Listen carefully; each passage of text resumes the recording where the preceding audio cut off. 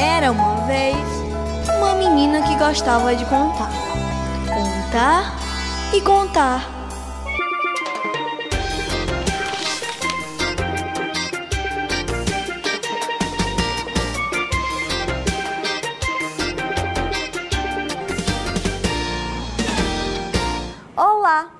Se há história de amor que tenha marcado a história de Portugal, é a do amor proibido entre o infante Dom Pedro e Inês de Castro, dama de companhia de sua mulher, Dona Constança Manuel. Quer saber mais? Então vamos assistir juntos.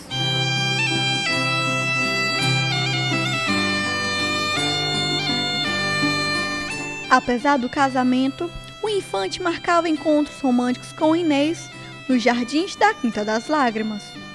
Depois da morte de Dona Constança, em 1345, Dom Pedro passou a viver maritalmente com Inês, o que acabou por afrontar o rei Dom Afonso IV, seu pai, que condenava de forma veemente a ligação e provocou forte reprovação da corte e do povo. Durante anos, Pedro e Inês viveram nos passos de Santa Clara, em Coimbra, com os seus três filhos. Mas o crescimento da censura à união por parte da corte pressionava constantemente Dom Afonso IV, que acabou por mandar assassinar Inês de Castro em janeiro de 1355. Louco de dor, Pedro liderou uma revolta contra o rei, nunca perdoando ao pai o assassinato da amada. Quando finalmente assumiu a coroa em 1357, Dom Pedro mandou prender e matar os assassinos de Inês, arrancando-lhes o coração, o que lhe valeu o codinome de O Cruel. Mais tarde, jurando que se havia casado secretamente Inês de Castro, Dom Pedro impôs o reconhecimento como Rainha de Portugal.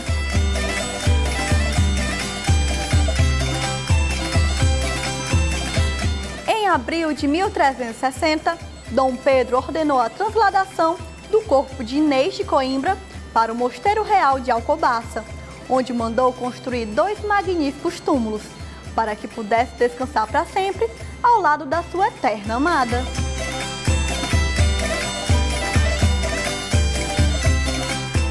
Assim, ficaria imortalizada em pedra a mais arrebatadora história de amor portuguesa.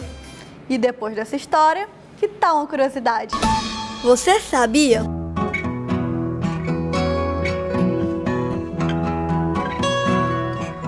Vale do Gurgueia, no sul do Piauí, tem muitas áreas castigadas pela seca. Mas no município de Cristino Castro, poços que jorram água sem parar atraem turistas em um cenário surpreendente. A região que concentra 87 municípios do estado e é aqui onde está guardada a maior reserva de água subterrânea do Nordeste, a terceira maior do país. Um verdadeiro mar de água doce abaixo da superfície.